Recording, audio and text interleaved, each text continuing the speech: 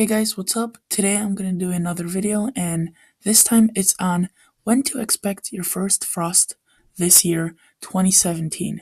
So, first off, we need to look at the average date of first freeze or first frost. And you could see there's a bunch of dates and it's not really linear at all. It's very rugged and it's kind of hard to decode. But Idaho, Yellowstone, and northern Montana, northern North Dakota, and Minnesota, and parts of Wisconsin and UP of Michigan is around September 15th, along with northern Maine. Then, October 1st, much of South Dakota, Minnesota, parts of Wisconsin, most of Michigan, and um, m- most of Maine, and in the upstate New York and the Appalachian Mountains in West Virginia and Pennsylvania, and Denver, Colorado, and the mountains there. And then we have October 15th, which is rest of uh, Colorado, rest of Utah, parts of uh, New Mexico, t- uh, Texas, Kansas, the whole Nebraska, whole Iowa, half of Illinois, half of Indiana, rest of Michigan, rest of Wisconsin, rest of Minnesota, whole Ohio almost, whole West Virginia, um, and parts of Pennsylvania, New York, and I think Boston's qualified in there. And then November 1st, which is Kansas, Missouri, Southern Illinois, uh, and Kentucky, Tennessee, and, and so on and so forth. And you could see September, November 15th, the rest of the states are highlighted. And then here, there's no frost because, there, I mean, obviously it does, sometimes frost does get into Dallas, but it's usually around January and February. So we're not really going to do that because that's pretty much already winter. But I will include Dallas in this forecast. So if we already looked at the average first frost date, we need to look at who or we need to look at if this is going to be a below average temperature fall or it's going to be above average for temperatures during this fall. And we're going to look at some big weather corporations and what they're saying. Again, NOAA is not a very trusty source, but I'm still going to use it because it's a very big weather corporation and sometimes it, it does have some right truth. So for September, October, November, October, November, and December 2017, this is how it looks like warm across the whole country, warm across the whole country. So what pretty much, pretty much what we're getting from NOAA is above average for the whole fall. But again, that's not definitely correct. And then let's look at the Weather Channel. They're saying that near or slightly below average for the Midwest and parts of the Northeast, excluding Boston, Kentucky, Rhode Island, and parts of Vermont and New Hampshire. And then near or slightly above average for the rest of the United States, and then just above average in the Four Corners states area over there.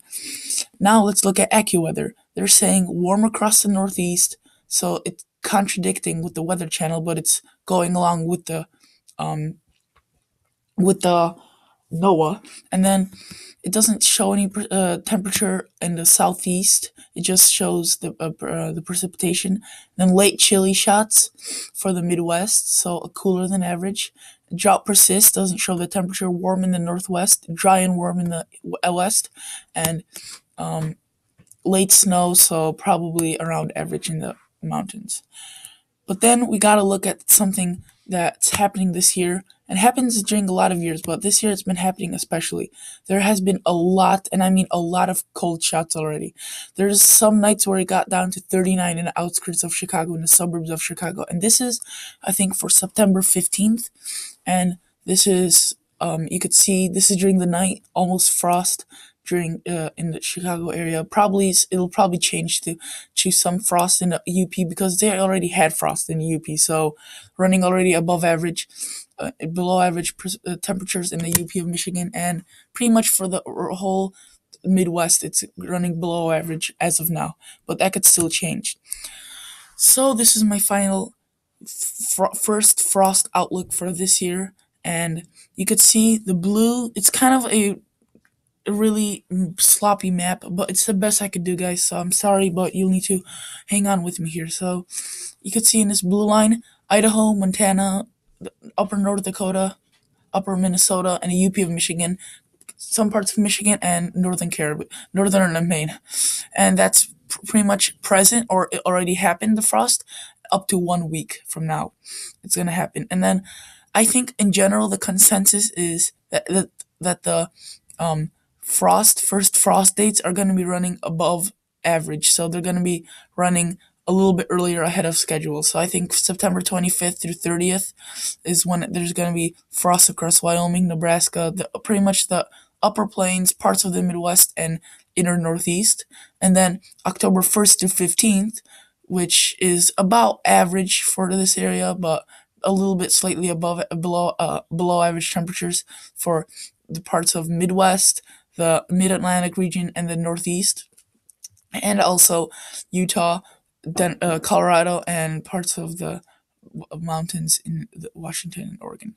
Also, October 15th through 25th, rest of the states that are part of the Midwest, the all, and getting into the Southeast, the Mid Atlantic, rest of the Mid Atlantic states, and New Jersey, New York, states like that are gonna. I mean, cities like New York City is gonna be in it. Tennessee, Oklahoma, northern Texas, the Panhandle, northern uh, New Mexico, Arizona, and then November 10th, around average for this for for these here in the in the in the really south and west because I think it's going to be above average for the first four sections because winter's to come uh, fall fall cold temperatures are to come in fast but then it's to slow down as it uh, as it co- continues on in the winter so I think the south is to be about average and then the, these states these parts of the states that are not included are probably just to be in January or February or might not even have in some of these parts. So